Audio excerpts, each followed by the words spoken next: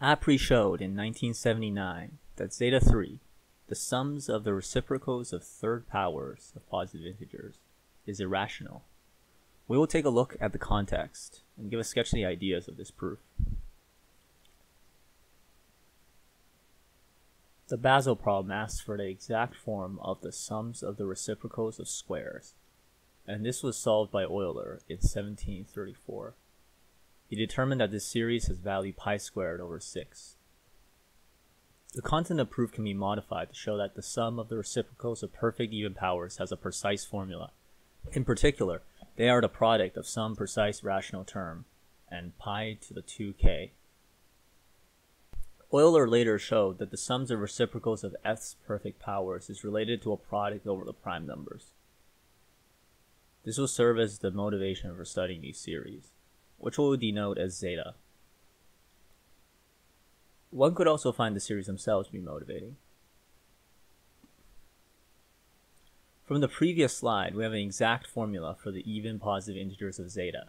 So naturally, we should ask, what is the exact form of zeta n for positive integers n? Unfortunately, this is too hard and we have to content ourselves with partial results, such as the properties of zeta n for positive integers n. One of the properties we may be interested in is irrationality. Indeed, we can ask if zeta n is irrational for all n greater than 1. As Euler had shown that zeta 2n is a power of pi times a rational number, we already have that zeta 2n is irrational. And here we come to Apéry's result. He was able to show that zeta 3 is irrational.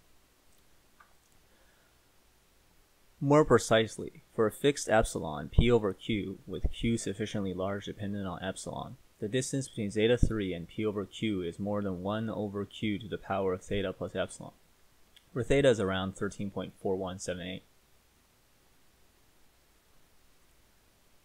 But how does one show that a number is irrational? Well, there are ad hoc proof methods for irrationality, such as in the proofs of the square root of 2, or Lambert's proof of the irrationality of pi, there are more systematic criteria for irrationality. One of these is the irrationality criterion that follows from a Diophantine approximation theorem of Dirichlet. The theorem states that if there exists a delta greater than zero and an infinite sequence of rational numbers such that the distance between beta and the rational number is less than 1 over the denominator of the rational to the power of 1 plus delta, then beta is irrational. In fact, this is an if and only if. And what the theorem means is that irrational numbers are characterized by the fact that they can be approximated accurately by the rational numbers.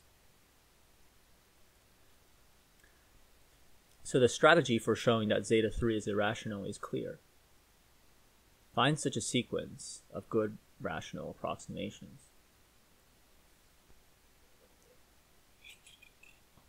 I'll get right to the proof, but you'll have to be a bit charitable here, as many important details will just be stated as fact, and only some will receive more in-depth treatment later on.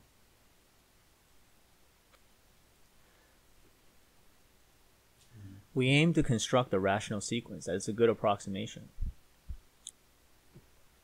First, consider the recursion n cubed un plus n minus 1 cubed un minus 2 equal to 34n cubed minus 51n squared plus 27n minus 5 times un minus 1.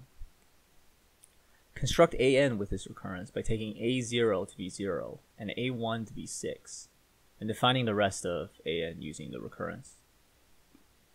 Construct bn by taking b0 to be 1 and b1 to be 5, and defining the rest of bn using the recurrence. The sequence an defined this way are rationals with denominator dividing 2 times the cube of the least common multiple of 1 to n. The sequence bn is an integer sequence. We consider an over bn to be the rational sequence that we need. It can be shown that an over bn converges to zeta 3.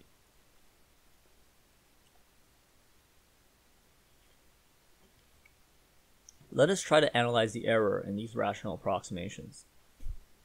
And first we'll do it in terms of Bn.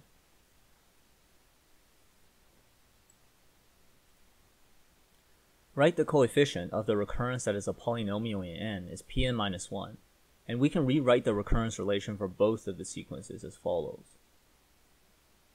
Now by multiplying the first equation by bn minus 1 and the second by an minus 1, we derive the third equation on this slide. We can compute a0 b1 minus a1 b0 and simplify the telescoping product to find that an bn minus 1 minus an minus 1 bn is 6 over n cubed. Now knowing that an over bn converges to zeta 3, we can compute zeta 3 minus an over bn by computing the difference between subsequent terms and summing these differences.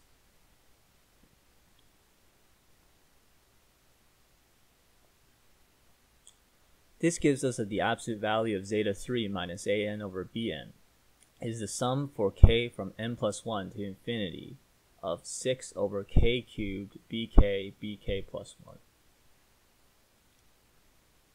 So the error of this approximation is on the order of bn to the negative 2.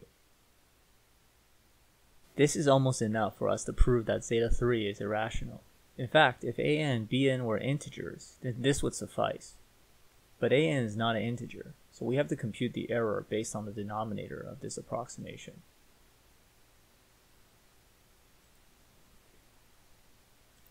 We start by taking the second equation on this slide and dividing both sides by n cubed. We aim to estimate bn by considering this modified equation. Here it is as the first equation on the slide written out in expanded form.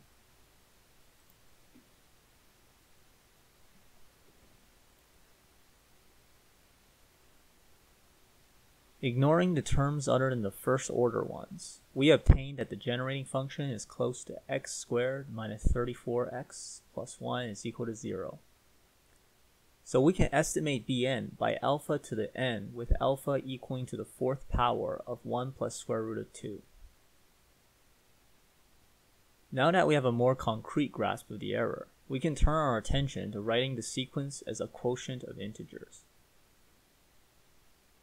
Recall that an is a sequence of rational numbers with denominator dividing 2 times the cube of the least common multiple of 1 to n. So to ensure that both pn and qn are integers, we take pn equals to an times this value, and qn equaling to bn times this value. We can bound 2 times the cube of the least common multiple of 1 to n by big O of e to the 3n, Combining this with the bound of bn by alpha to the n, we have that the difference of zeta 3 and pn over qn is big O of alpha to the negative 2n, and this is sufficient for our result when we write this in terms of qn.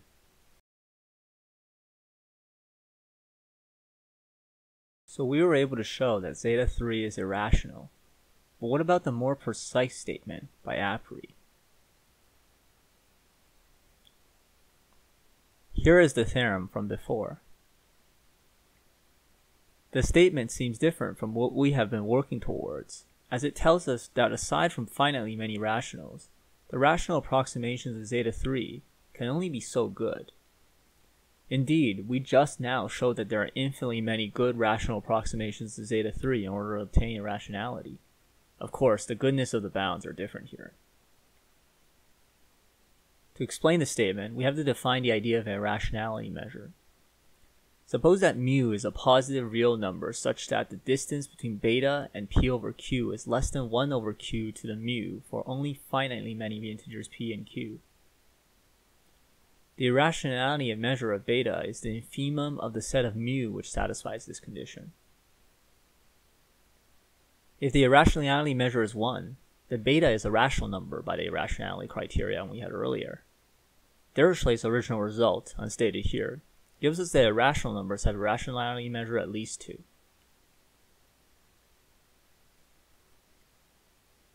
An equivalent definition is that the irrationality measure mu beta is the smallest number for which the distance between beta and p over q is greater than 1 over q to the power of mu beta plus epsilon for all pq integers, with q sufficiently large depending on epsilon. Stated in this form, Apéry's result is a bound on the irrationality measure. With Apéry's bound on the goodness of rational approximations being qn to the negative 1 plus delta for delta approximately 0.080529, and the denominators of the approximations are qn series, increasing geometrically, we can obtain that the irrationality measure is bounded by 1 plus the reciprocal of delta, which is approximately 13.41782. We will now have a closer look at the rational sequence and consider some of the necessary assertions made earlier. The sequences AN and BN can be written explicitly, as can be seen on this slide.